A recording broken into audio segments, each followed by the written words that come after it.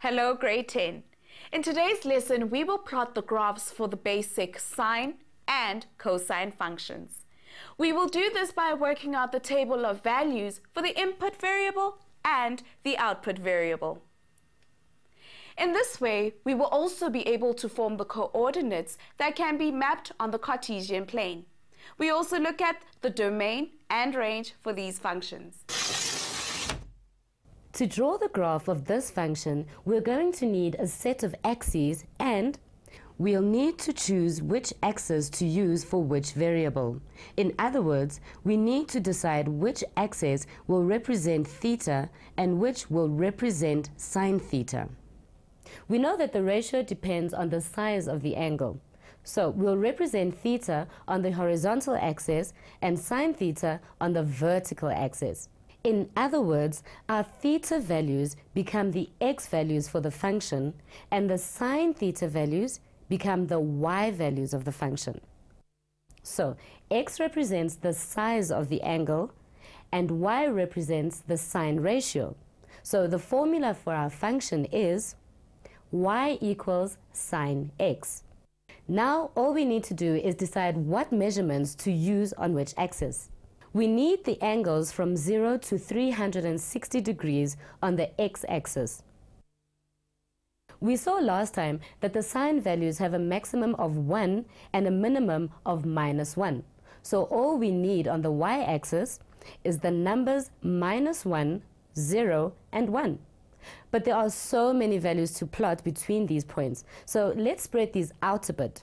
And also mark 0, comma 5 here and negative 0,5 here. Now, to sketch the graph, we can plot our points from our table of values.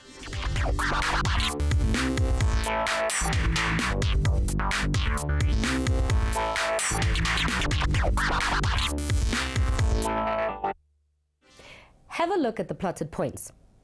This point at y equal to 1 is a maximum point, and this point at negative 1 is a minimum point.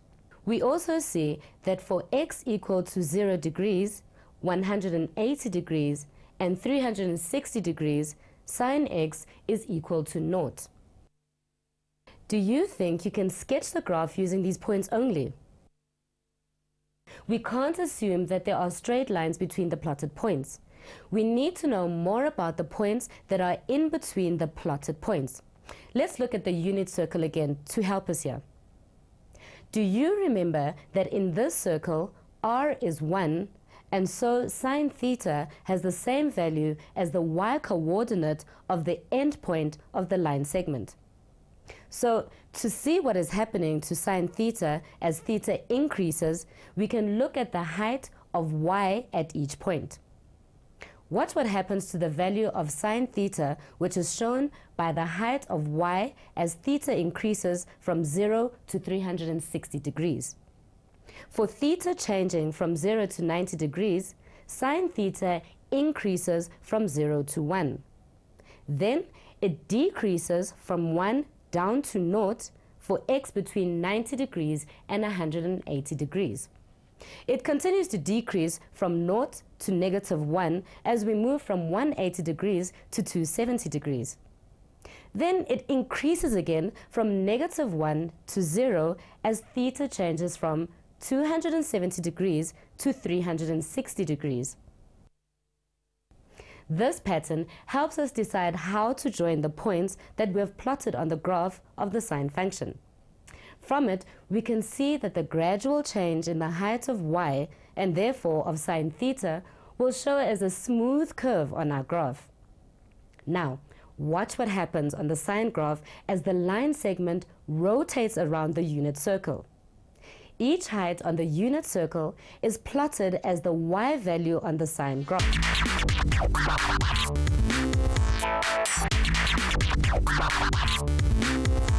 Bye.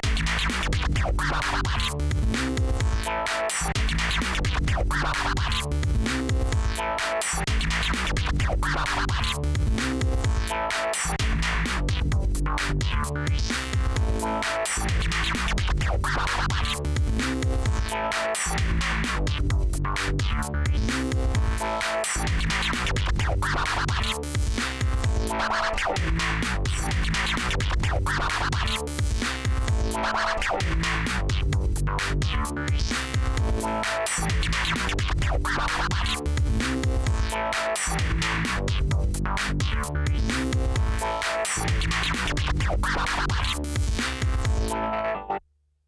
the line segment has completed its rotation around the unit circle, we can see that all the sine theta values for x from 0 to 360 degrees have been plotted. What we end up with here is the graph of the function y equals sine x. As with the graphs of any function, we can read any point of this graph now. We can find the angle sizes for different values of sine theta. We can also show that there is more than one angle with the same value for sine theta. Now that we've looked at the sine function, let's move on to the cosine function. If you remember, we said in the first lesson that if we have any line segment on the Cartesian plane, the cosine of the angle created with the positive x-axis is the ratio of the x value to the r value. We've seen how sine theta behaves on the unit circle. Now let's have a look at cosine theta. As the line segment rotates around the circle, you can see again how the position of its endpoint changes. For each value of theta, we find the value of cosine theta. Because we are working in the unit circle, we can use r equals to 1. So cosine theta will be equal to x. In other words, cosine theta is the same as the x value of the endpoint of the line.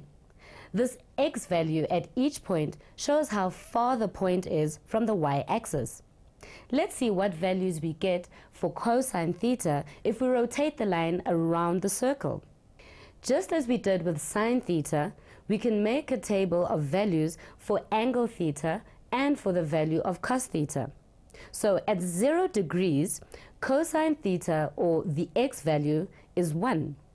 I'm going to leave that to you to check on your calculator. If we rotate the line to 30 degrees, cosine theta or the x value is 0,866. Again, you could check that on your calculator. Let's see what cos theta is at 60 degrees. At 60 degrees, we can see from the unit circle that cos theta is 0,5. Now we want to set up a function that shows how cos theta changes as the angle theta changes. I've already worked out three of these values. I'm going to leave you to work out the missing y values in this table. Remember that we need to find enough values to be able to see what the graph looks like. Once we have enough points in the table, we are ready to plot the graph for the two variables, theta and cos theta. Again, we need to put the theta values on the x-axis. There are independent values and go from 0 degrees to 360 degrees. Then we need to put values for cos theta onto the y-axis. From the values that we have in the table, we can see that we'll need to go up to 1 and down to negative 1 again. Let's mark 0, 0,5 and negative 0, 0,5 as well. From the table of values, we can see that cosine theta will reach a maximum of 1 at theta equal to 0 degrees and again at 360 degrees. Cosine theta has a minimum of negative 1 where theta is equal to 180 degrees. But when theta is 90 and theta is 270 degrees, cosine theta is 0. So far, we've plotted the maximum points, the minimum points, and the x-intercepts. You'll see that we don't yet have enough points to see the shape of the graph. Remember, we can't assume that we can join these points with a straight line. So let's plot the other points from the table as well. Here they are, 30 degrees and 0,866, 60 and 0,5, 120 and negative 0,5, 150 and negative 0.866. At 210, it's also negative 0.866. At 240, it's negative 0.5. And at 300, it's positive 0.5. And at 330, it's positive 0.866. Now, the shape of the graph is very clear. If we were to plot even more points in between these points, you'll see that the graph curves like this. To check that we have drawn the cosine graph correctly, we can use the unit circle. In the unit circle, cosine theta has the same value as the x-coordinate of the line segment. The x-coordinate of any point shows how far it is from the y-axis. As the angle changes, watch how the x values and the distance of x from the y-axis change. As theta rotates from 0 through to 90 degrees, x or cosine theta decreases from 1 down to 0. Then, between 90 and 180 degrees, x or cosine theta continues decreasing down to negative 1. The negative sign tells us the point is left of the y-axis. From 180 degrees to 270 degrees, cosine theta increases again from negative 1 up to 0.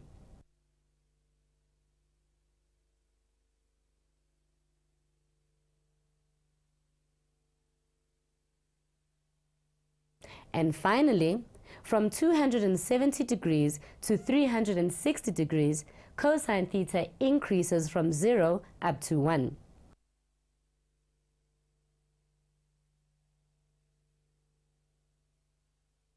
So, we've used two ways to draw the cosine graph.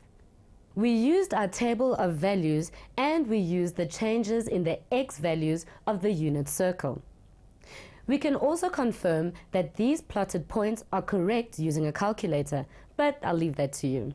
The cosine graph has the degrees on the x-axis and cosine of theta on the y-axis.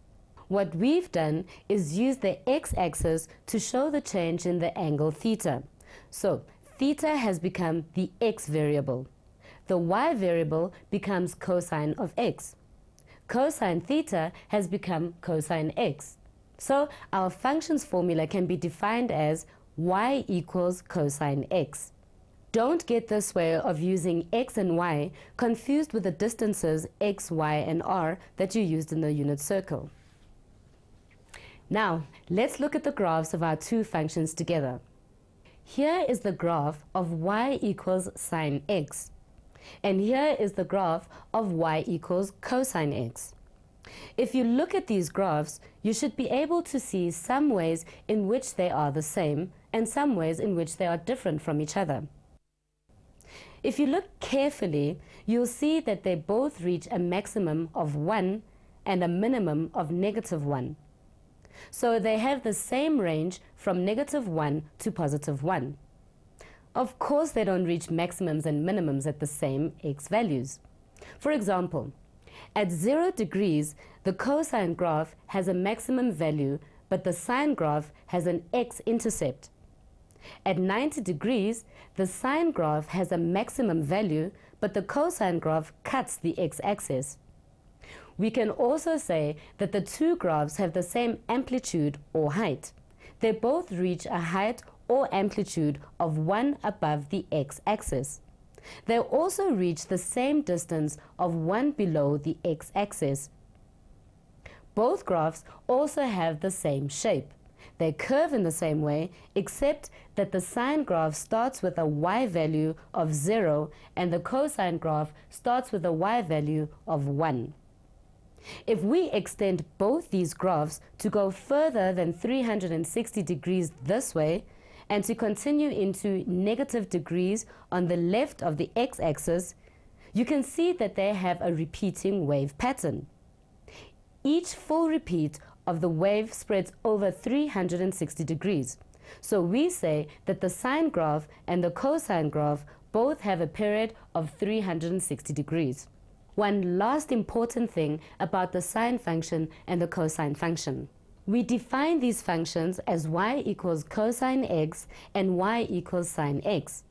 But it's possible to have other sine and cosine functions. For example, the function y equals 2 cosine x or the function y equals negative sine x minus 3. There's a whole family of sine functions and we can represent them with a general formula y equals a sine x plus q. We can consider y equals sine x as the parent function of this family. So the parent graph has an a value of 1 and a q value of 0.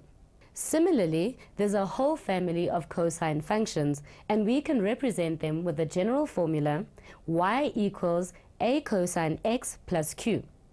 We can consider y equals cosine x as the parent function of this family. So this parent graph also has an A value of 1 and a Q value of 0. Now you also know where the sine and cosine graphs get their shapes from. Remember to keep practicing your textbook exercises and don't forget to watch the task video. You'll also be able to find more information on the topic of trigonometric functions at www.mindset.co.za forward slash learn. Guess I'll be signing off for now. Check you later, my cosines.